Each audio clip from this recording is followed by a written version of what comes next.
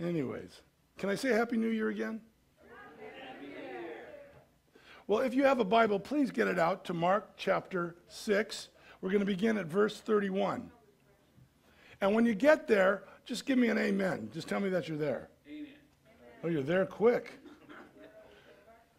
And if you don't know where it is, it, it's after Genesis and before Revelation. okay. Can I read? Okay. And he said to them, Come aside by yourselves to a deserted place and rest a while. For there were many coming and going, and they did not even have time to eat. So they departed to a deserted place in the boat by themselves. But the multitude saw them departing, and many knew him and ran there on foot from all the cities. They arrived before them and came together to him. And Jesus, when he came out, saw a great multitude and was moved with compassion for them because they were like sheep, not having a shepherd. You know, I, um, I look around today and it seems like we're still sheep without a shepherd. You know, I, I, I don't know if you read about all the shootings in Chicago, or maybe you heard about uh, policemen being shot and people dancing in the street over the whole thing. It shows me how lost we really are. You know, I look for leadership, uh, and maybe you do too, from politics. But if it was, it's almost like a joke these days, it seems. And if it wasn't so serious, it, it, it, it wouldn't be funny. Because politics don't really give me any hope. I don't think the United Nations or Black Lives Matter or, or more gun control or even, I don't, don't get me wrong, even the next president isn't going to necessarily save America. The only one I know who can save America is Jesus Christ. But I look at all of us, and a lot of us, no one here, of course, there's a lot of lost sheep out there. And we're a nation that have turned our backs on the shepherd. You know, I don't find the answer in science either. With all our great advances in science and all our great knowledge and learning, it just seems we've learned how to kill each other much more effectively. And with science's best thinking, they say human life, life has no real significance or no real meaning. I read an article not too long ago about high school kids at a summer camp that were given aborted fetus brains to dissect. Because to science, an unborn child doesn't mean anything. I look at a higher education to give me hope, but it doesn't. Our universities are, are I hate to say this, but seminaries for left wing philosophies. They teach young people to follow the, the politi- politically correct crowd. And heaven help you if you happen to say something against one of the professors. You know, I, I, I did that once in college. It was the only class I ever failed in college. It almost cost me another year of college because I had to take the class over. But, you know, here I'm sitting in a class and the professor's saying, if you believe in God, you're an idiot. So I decided to call him an idiot, which really made me the bigger idiot. But uh, didn't work out really well for me in that class. But, you know, I guess my point is if you really want to see fascism these days, go to a college campus. They'll tell you what to think and how to act. And with all our science and educational advancements, how's the world looking these days? Yeah, we have our nice homes and we have our toys to play with. But answer me this why is it that this is the first year, at least last year was, the first year that more young people died in drug overdose than car accidents? Our text says Jesus looked out at the people and said they were sheep without a shepherd. But then it goes on to say he had compassion on them. And you know, that tells me that he cares for you and that he cares for me. And no matter what you're going through today, he knows what you need. See, God doesn't give us a perfect world to live in. But in the midst of all the craziness, he does his work. He does his business in us and through us. And he works his will in your life. You know what the question is, though? Will you trust him? Will you trust him through it? Let me read on. So he began to teach them many things. Look down at verse 35. When the day was now far spent, his disciples came to him and said, This is a deserted place, and already the hour is late. Send them away, that they may go into the surrounding country and villages and buy themselves bread, for they have nothing to eat. Now, he gives them a test right here. Verse 37 But he answered and said to them, You, he's talking to the disciples there, give them something to eat. And they said to him, Shall we go and buy 200 denarii worth of bread and give them something, something to eat? But he said to them, How many loaves do you have? Go and see. And when they found out, they said, Five and two fish. And here's, here's my point. In a sense, they only found some scraps of food when it comes to feeding 5,000 people. It almost seems like a bad joke for Jesus to say, Well, why don't you feed everybody with five loaves and two fish? But you see, with Jesus, not having enough with Jesus is more than enough, if you catch my drift. And maybe you're sitting here today and your marriage isn't enough. Maybe your life isn't perfect. Maybe your child or, or maybe a grandchild isn't very perfect. Maybe your health, maybe your finances aren't enough. But you know what? We still need to give thanks to the Lord. And thank Him for the little things, for the scraps. And when you can praise Him for the little things, that's when He'll raise you up and give you more. That's when the real miracles happen. You know, I remember, and maybe some of you have heard of Corrie ten Boom. You know, she thanked God. Get this. She thanked God for the lice and the fleas in the concentration camp that she was in with her sister. Why? Because the guards wouldn't come into the barracks while she, while she was having Bible studies leading people to Christ. And because she was thankful, and because her, well, because God decided to use her, because there was a paperwork error. I don't think of the Germans as making paperwork errors. But the Lord worked it out that there was this error, and they just let her go. And she shared God's love all over the whole world. Amazing. Amazing. Let me say this God can take the scraps of your life, the mistakes, God can take the hurts from your life and do a miracle with them. He can take what you might consider a bad joke five loaves, two fish, right? Lice. A lousy job. And bless you with it. And bless others through you. And I can look back at my life and see where Jesus took my mistakes, my failings, my past hurts, and he turned them into some of my greatest blessings. It's easy to look back at life and say, well, God is unfair. Life is unfair. But you have a choice whether to let those hurts define you or you can use them to grow and to bless other people. It's your choice. Jesus can turn your crosses into crowns. I believe that. Let me read on. Then he commanded them to make them sit down in, in groups on the green grass. Verse 40. For they sat down in ranks, in hundreds and in fifties. And when he had taken the five loaves and two fish, he looked up to heaven, blessed, and broke the loaves and gave them to his disciples to set before them. And the two fish he divided among them all. So they all ate and were filled. You know, in the Greek, the word filled is the word, it really means glutted. It's sort of how you felt on Christmas Day when you overate. No one did that? You know, not, it's not good to lie in church.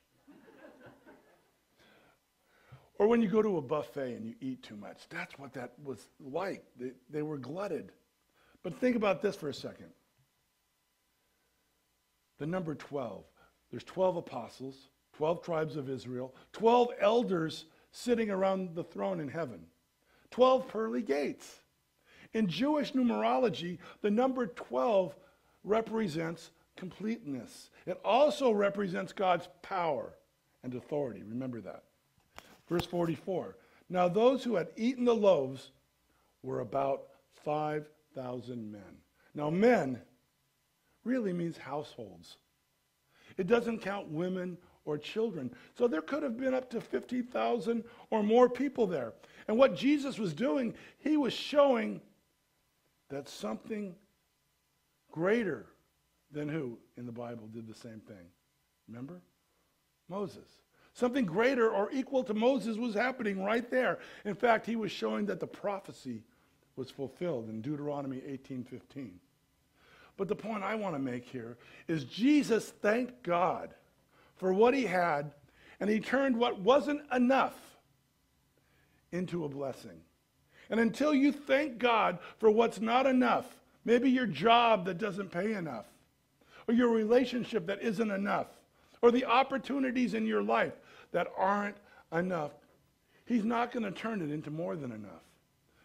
In Philippians chapter 4, you remember that one, it says, Be anxious for nothing, but with all things, with prayer, with thanksgiving, let your requests be made known to God, and the peace of God that surpasses all understanding will what? Guard your hearts and your minds through Christ Jesus.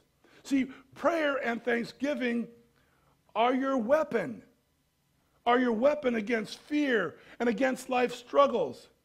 It's not just about thanking God and praising Him, it's for you, it's for your safety and for your peace.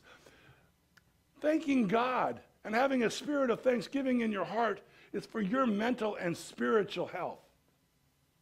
It's a wall and it guards your soul.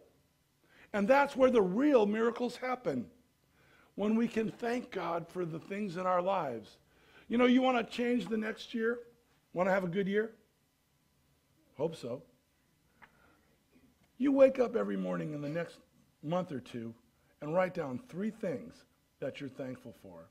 And I'm telling you, it will change your heart. And especially if you're struggling with those kinds of things. Trust me. But there's more. Let me read the text.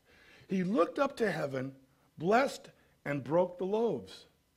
Somehow, the miracle happened in the breaking of the loaves. And it's in the breaking, follow me, that the miracles happen. Remember what did Jesus say? He took the bread and he broke it, right? And said, This is my body broken for you. And that, that broken body was the salvation of the world, was it not? The same broken body, Jesus said, This is the bread of life. Jesus takes seemingly useless, less than, broken things, broken people, and uses them for his glory. God uses what's been broken. He took a shepherd boy, right? He wasn't even named with his brothers, and made him, well, you might remember his name, King David. He took a slave, a convict, who spent a good portion of his life locked up in prison to save a nation, to save the whole parts of the ancient world. And he even saved his brothers. Remember his name? Joseph. He took, he took a murderer who ran and hid from God until God ultimately broke him after 40 years in the wilderness and he used this same murderer to teach us about God's morals and God's law. Remember his name? Moses. And God used a baby born in an obscure village from a, a little of nothing people, from a dingy little town in the middle of nowhere. Trust me, I've been there. And he used a little baby from that town to save the whole world, and that was Jesus. And here's a strange little addendum to everything. The child, which uh, it says in one of our other texts, who brought the fish and the loaves, he wasn't even counted in the 5,000, but he was the one that God used for the miracle. See, God uses less than perfect lives. People who have been hurt, people who've been divorced, people who've had illness, people who had, are less than for his glory. And he will use you if you let him. He will use you. He used me, kid who was living on the street. But I guess let me ask you this. Have you been broken by life's circumstances? Or let me get deeper. Do you remember when God broke you? Do you remember that? Uh, what does the scripture say? Humble yourself in the sight of the Lord, and he shall lift you up. See, the blessing is in the breaking. Maybe God wants to use you today. Can you thank God for the, the breaking or the losses in your life? You ever had a broken heart? Broken dreams? Let me say this every time, every time God humbled me and broke me of my pride and my arrogance or my self will, it became a blessing in my life. Because it's in the breaking that the multiplication or the miracle happens. Let me read some more. Verse 45. Immediately, he made his disciples get into the boat and go before him to the other side, to Bethsaida. And while he sent the multitude away, and he had sent them away, he departed to the mountain to pray. Now, when evening came, the boat was in the middle of the sea, and he was alone on the, on the land. Then he saw them straining at rowing, for the wind was against them. Now, about the fourth watch of the night, he came to them walking on the sea and would have passed by them. You know, sometimes when you're following Jesus, he will send you out to some places that might be kind of hard. It says it was the fourth watch. Guys, that's three in the morning. They've been rowing all day against the wind and getting nowhere. Things were getting tough. Are you struggling against the wind today? Are you rowing against some hard things? Do you feel like you're getting nowhere? Well, let me say this Jesus has a word for each and every one of you, for all of us, really, who struggle. Verse 49 And when they saw him walking on the water, they supposed it was a ghost and cried out. For they all saw him and were troubled. But immediately he talked with them and said to them, Be of good cheer. It is I. Do not be afraid. Friends in Christ, the word for you today is don't be afraid. Is there someone here that these words speak to this morning? Don't be afraid. My point is, he sees you in your storm. It might be three in the morning and it seems like Jesus is away on a mountain, but he saw them struggling. And he sees you in your struggles. He knows where you are. He knows what you're facing. He knows what you're going to face this next year. And he will give you help. He will give you peace. And my point is can you praise him for that? Will you praise him for that? See, it says God is present in the praises of his people. Now, as a pastor and as a counselor, I've gone to some pretty tough places, scary places. Uh, and let me say this the Lord has always been with me, in spite of me. You know, I, I've been to the craziness in the inner city. I remember one time I was in Oakland, and I was doing a counseling session in a, in a little a little house in East Oakland. The woman, it looked like she had just pulled a needle out of her arm and she was nodding off. There was no furniture in the house, but one mattress in the center of the floor. We were sitting on the floor as the rats were running by. But God was there. And He was with me and He protected me. You know, I've been to places like Nepal. Uh, we, we arrived there the day of the second earthquake. They closed the airport. It was crazy. It was, it was nuts. The electricity went out. There was no gas, no fuel for cooking. The, the houses and churches were, had crumbled to the ground because of this earthquake. But it was in the midst of that craziness that I saw Jesus in a sense. Friends in Christ, what I mean by that is it was through the gifts of Christians just like you that churches were rebuilt and homes were rebuilt and lives were changed. My point is Jesus showed up in the middle of that storm. And when you have when you're in the storm, it forces you to depend on faith and the grace of God. And you know what the weird thing was in the midst of all of that? Now, Nepal is a Hindu nation. But see, the Hindus weren't helping. You know why? Because they thought it was because of their karma that the earthquake happened and that 10,000 people died.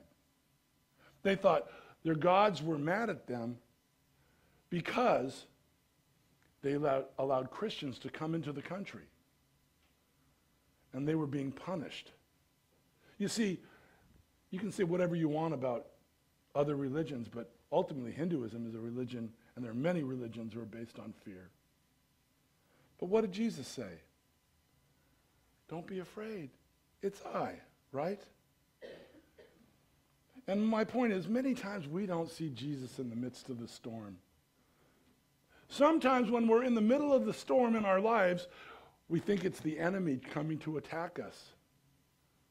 But in reality, it's Jesus doing his work in us and moving us to another place in our lives. Have you ever come to the point in your life where you thought life was getting the best of you? You ever got to the point where you thought, well, maybe God really doesn't care about me? Maybe he maybe God's forgotten me. Or it feels like Jesus is far away. You remember the disciples, the other storm they were in the middle of the lake? Jesus was asleep in the front of the boat. And these great men of faith, you know what their first words were when they woke up Jesus? I'll quote it to you. Why don't you care? Why don't you care? You ever felt like that? Lord, why don't you care? I've done that. But what they were inferring was, Jesus, what, you brought us out here to die? In the middle of a storm? Or what about Martha and Mary? Remember Martha and Mary when, when Lazarus died? And Jesus arrives sort of a day late, right?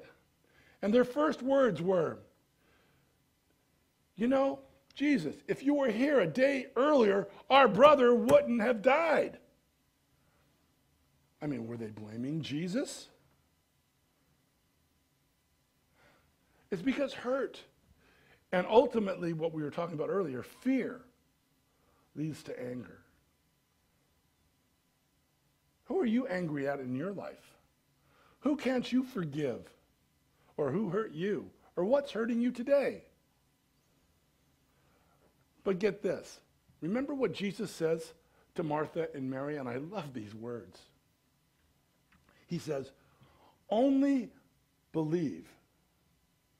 Only believe, and you will see the glory of God. See, it's in the middle of the storm that your faith is tested, that your hope is attacked. See, being a Christian, I, I think a lot of Christians get this wrong. Doesn't mean you're not going to face storms. But the storm isn't really what's going around the boat. It's what's going on in our minds and in our thoughts. If the enemy is really going to attack you, he's going to attack you how you think. He's going to attack you in your faith. He's going to attack you in what you hope for. Hebrews 12 says it like this Faith is the evidence of things not seen, the substance of things hoped for. If you look at that verse carefully, it says that faith supports hope. And when you lose your hope, your hope about life, that's when you lose your faith.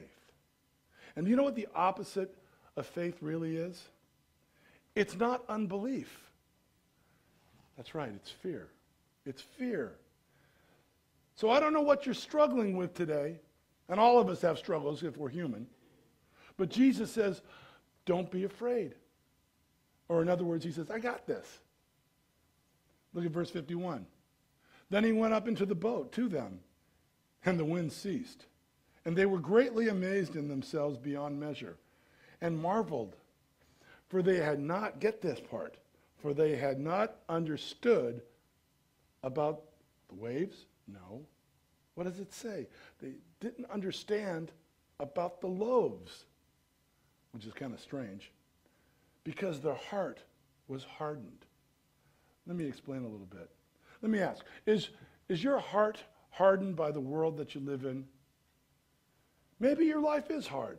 I can accept that. Maybe you're afraid of getting hurt again in your life.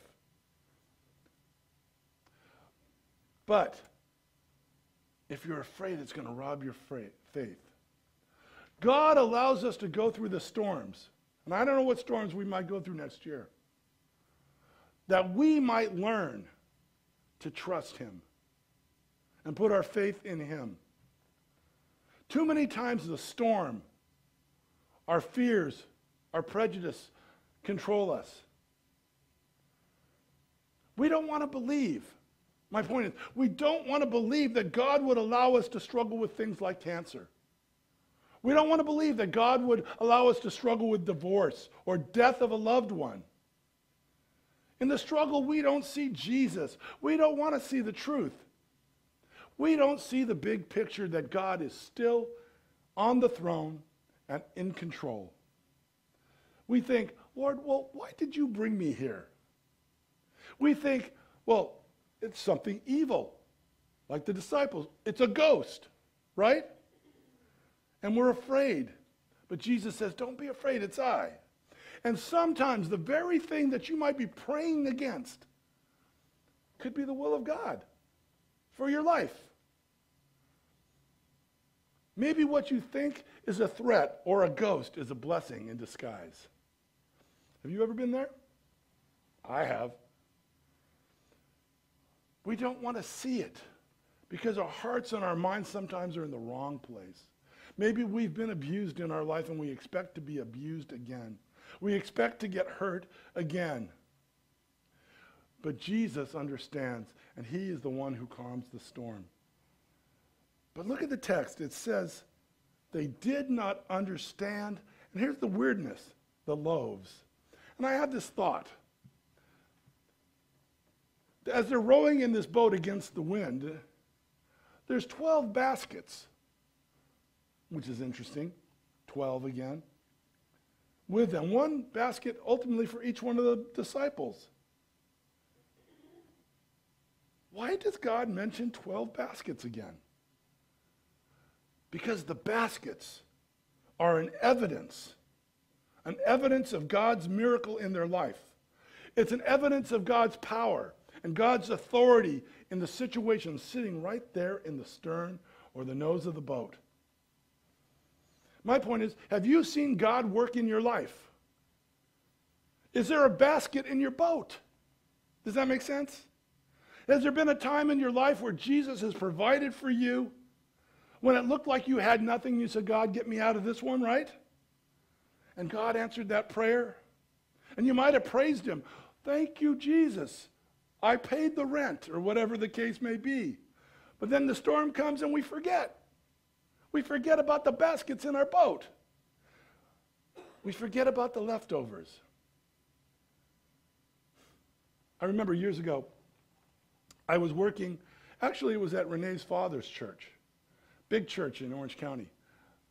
And uh, I was a youth minister, but being a youth minister, um, I had other jobs to do. I remember I took the seniors out to, uh, I was their driver. And I remember one time we went to, uh, if you know where Olvera Street is up in LA. You know how they have all the little booths over there and they're selling little things, whether it's street tacos or, well, there was this little, there was this little straw hat. And, okay, I was in, not only was I working for the church part time, I wasn't making a lot of money, such is life. And um, I was in seminary, and I'm standing there, and there's this little, this little, you know, basket type hat. And my son was like one or two years old. And I'm standing there looking at it, and I'm just, I start praying. I said, Lord, I wish I had the $7 to buy, to buy the hat for my son. I just wanted, I was just like, come on, Lord, I just want to buy little Jake a present. And a lady comes up to me, a, a little lady, and she goes, you know what? Why don't you buy that hat for your son? That's a basket in my boat. I wish I still had that hat. But sometimes God will answer those prayers and they stay with you and but let me take it a little deeper. Sometimes he answers even no. And it's a basket in my boat. My father had cancer. And I prayed, "Oh Lord, heal him," right? And God healed him. He took him home. And, but if it wasn't for the cancer, my father was a dogmatic atheist. If it wasn't for the cancer, my father would have never accepted Jesus Christ. And I might have only had three months with him as a Christian. But that's a, that's a loaf in my boat. That's a basket. Uh, that's, God was there. And he used it for his glory. Even if he said no to me. And I thank God for that because God is good. You know what the word, there's another name for God Jehovah Jireh. You know what that means? The God who provides. My cup overflows in spite of me, friends. And here's the takeaway of this whole sermon we need to look back and remember the blessings in our lives as we face the struggles for tomorrow. You need to have those baskets in your boat. You need to remember the answered prayers, the times that God blessed you, and I know that He has. What's your greatest fear today? Is it your relationships? Is it your job? Is it your health? A marriage? Is it children or grandchildren? Is it money? Is it global warming? I don't know. The question is will you trust God? Will you remember his blessings in your life? Is there someone here who's at the end of their rope right now? Can you remember a time that he snatched you right out of trouble? Can you remember when God showed up? Can I get a witness of somebody here where he's done that in your life? Raise your hand. Come on. Has God not done that for you? And he's done it for me. Christians, the end of the test of feeding the 5,000 was the storm. And the answer for all of it was the, the blessings in the boat. The point is, God cared for me in the past, and He'll be with me in the future, whatever that future is going to be. Jesus said, I'm the bread of life, broken for you. Ultimately, He's the loaf in your boat right? He's the one who calms the storm. He's the one who's gotten you through every single test you've ever had to face. And my point is, God blessed me when I had nothing. He blessed me when I lived in a van and I didn't even know him. He blessed me. I thought about this. I remember I used to, I lived in Orange and I used to go to Calvary Chapel in Costa Mesa when I first got saved. And I remember, get a load of this, I would hitchhike and get there. But you know what's really funny? I met this girl there one time when I hitchhiked. Her name was Renee. And that's how I met Renee of your church, Renee Bark. Although she wasn't Renee Bark then, she was Renee Didier. But the point being, if I wouldn't have trusted God, hitchhiking that day to get there, I didn't know how I'd get back. But that's why I'm here. that's really kind of funny. I guess what I'm trying to say is I can look back and see the leftovers of God in my life, His grace and His miracles. I can thank God when He shut doors in my life. And when he answered prayers, no. You know what? I'm reminded of an old song. And I, can I play for you on the piano? And I'll close with that.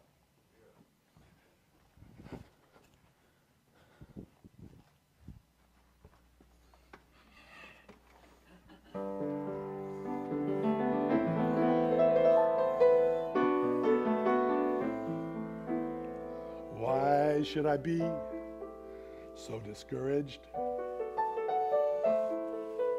Oh, why do the shadows, shadows come? Why does my heart feel so lonely and long for heaven and home? For Jesus is my portion, a constant help is he. For his eye is on the sparrow, and I know he watches, he watches over me. I sing because I'm happy. I sing because I'm free. His eye is on the sparrow, and I know he watches, he watches over me.